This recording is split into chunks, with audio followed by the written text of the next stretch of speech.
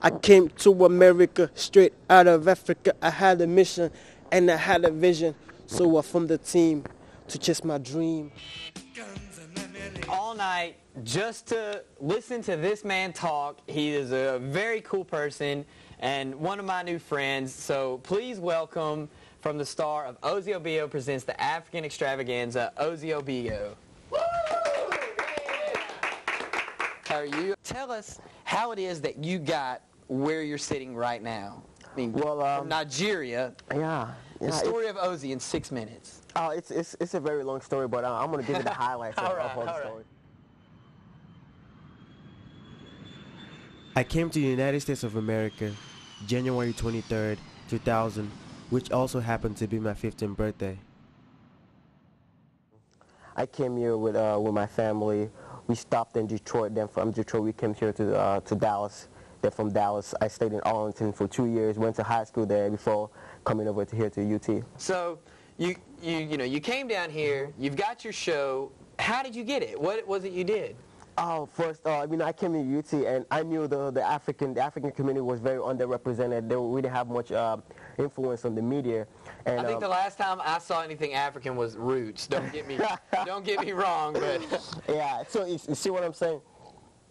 So it was hard. It was hard. You know, I, I felt like something had to be done. I felt like, um, you know, some the, Africa needs a voice, and what better person than me? You know, I felt like somebody had to do it. Why not me? why not? So I went to the station and pitched the idea to them. Told them that they need a, an all African show, just African music.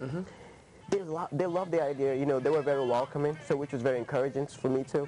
And I had access to all this African music that I wanted to share with uh, lot of This listeners. is Ozii Obiyo. If you got a request, definitely call in right now. The number 495-5879. Give you Rex.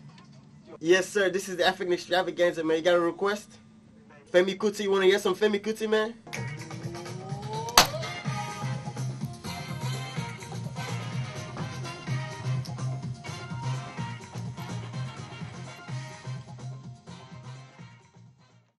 My next goal was to start an African TV show that celebrates and teaches people about the African culture.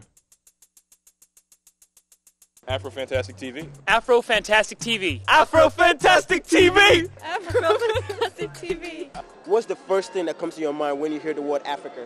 Okay, Africa. Lots of different words come to mind. You think of, you know, war, mm-hmm. a lot of times poverty, AIDS, disease, just a lot of civil unrest, a lot of social unrest. Well, I think about, you know, the safari with lions and, you know, the desert. And then I also think about, you know, Egypt. and then, you know, the Nile River. And also, I guess, like disease. I think about AIDS and poverty and jungle.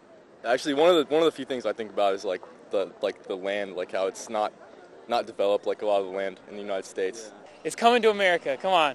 You got Eddie Murphy. You got you got Darth Vader with the big lion wrap. You know James Earl Jones. All right. That's what I think about. The big old lion wrap right over there. That just that's Africa right there. man. Definitely, definitely. And what I find out is that people have several misconceptions about Africa because no one has ever made them care. The purpose of this show is to make people care a little bit and hopefully this will change some misconceptions. This particular song she's gonna hear is Magic System, Gaou. This song makes everybody wants to dance in Africa. So uh, let's see what Grace. All right. Let's see what you got.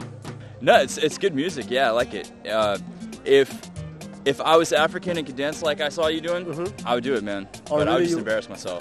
African music is very, it's all about your body. You know, you have to get all your whole body into it. Do your shoulder somehow, you know. I can't do it, man. Yeah, you're getting it. You're getting it. You're getting it. Know where I go. Uh, yeah, you can get, they, they add your own style to it. Give me like a little bit of alcohol, maybe.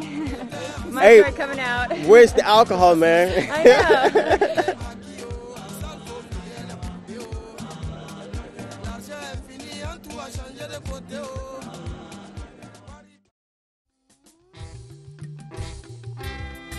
Hi, my name is Jerry Tasbai. I am from Eritrea, and today we're gonna cook some Eritrean food. is called this. After cutting the onions and putting it in the pan, you add butter in it. The next step is to cut the tomatoes. The onions, they're, they look pretty uh, cooked. So I'm gonna remove it from the stove and talk about this, the next step, which is to add um, the spice, it's called berbere, and mix it together. As you can see, it's really, really red and it looks spicy and it's really, really good.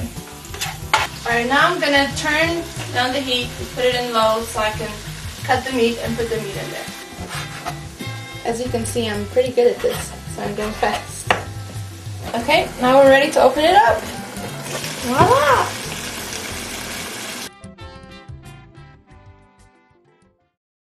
Well, when I think of Africa, I think of like, I guess my homeland. You know, I think of culture. I think of beautiful black people. My favorite Nigerian food is uh, red beans with rice, with some catfish, with some Louisiana hot sauce. Um, jollof rice, fried chicken.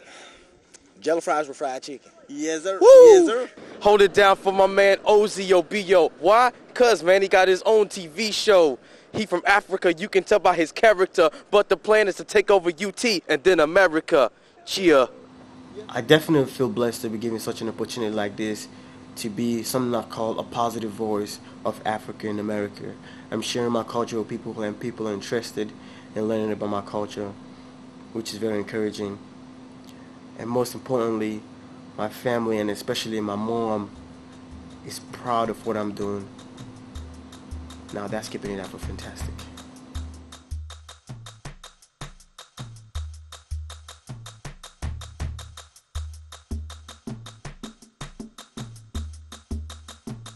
The best women are from Africa. Yes, sir.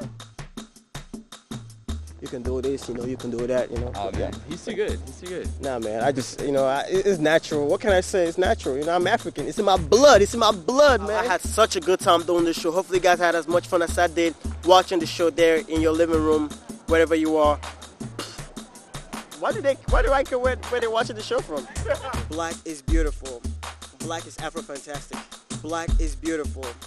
Black is Afro fantastic.